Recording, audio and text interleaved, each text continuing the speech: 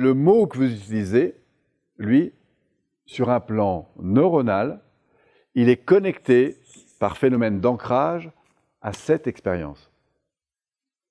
Et plus que vous allez raconter est chargé émotionnellement, positif ou négatif, plus ce phénomène va être important.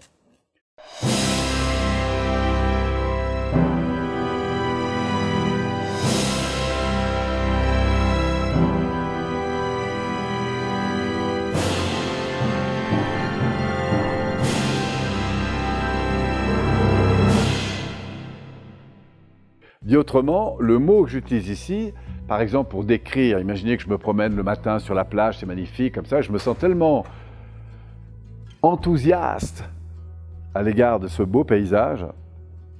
Si vous me dites, Apollo, tu es heureux à l'égard... Non, je ne suis pas heureux, je suis enthousiaste. Vous comprenez ce que je veux dire? Même si le mot, euh, au fond, veut dire la même chose. Pourquoi? Parce que le mot MOT qui est ici est en résonance avec l'expérience. Vous comprenez? Et c'est pour ça que dans l'écoute active, on va s'apercevoir que certains mots qui ont été donnés par une personne, bah, c'est très important de les reprendre. Et c'est ce que vous avez pu expérimenter plusieurs fois hier dans les accompagnements.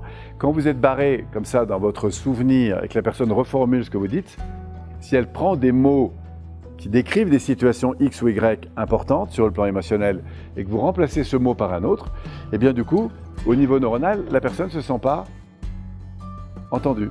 Et qu'est-ce qui se passe au niveau physiologique? C'est pas grave, mais ça se passe. C'est-à-dire que le niveau émotionnel, qui on va le voir est le plus important, euh, état interne ici, EI, eh bien, le niveau d'être ici va chuter. Ah, la personne ne va pas déprimer pour autant, hein, mais va chuter. Pourquoi? Parce qu'elle ne se sent pas en phase. Alors là, il y a deux façons. Soit elle se dit, oulala, j'ai peut-être pas dit ce qu'il fallait, j'ai donc un doute sur ce que j'ai dit.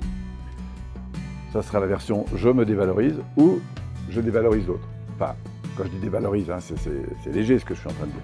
Mais vous voyez ce que je veux dire? Pourquoi? Parce que la partie ici n'a pas été entendue. Et on va voir à quel point ça va être important, pas seulement d'écouter les mots de ce que la personne dit, mais d'être à l'écoute de ce qu'elle vit, ce qu'elle vit, ce qu'elle ressent, ce qu'elle éprouve émotionnellement. Pourquoi Parce que c'est ce que je veux dire, c'est très important. Ce qu'il défend, ce n'est pas l'idée, mais justement l'expérience qu'il a. Et l'expérience est toujours vraie. La personne vous dit, oh là là, je ne sais pas si je vais y arriver. Mais si tu vas y arriver. Qu'est-ce qui vient de se passer là? La personne vous dit, ah là là, je ne sais pas si je vais y arriver.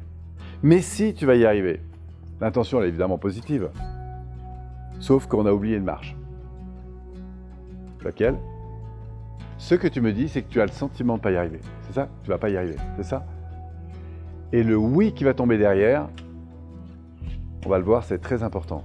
Pourquoi? Parce qu'à ce moment-là, la personne, elle se sent accueillie dans ce qu'elle vit.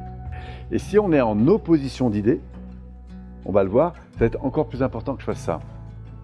on va voir que le premier seuil très important dans l'écoute, c'est la considération de l'autre. Pourquoi? Parce que l'art de l'écoute, en fait, c'est un art de considération.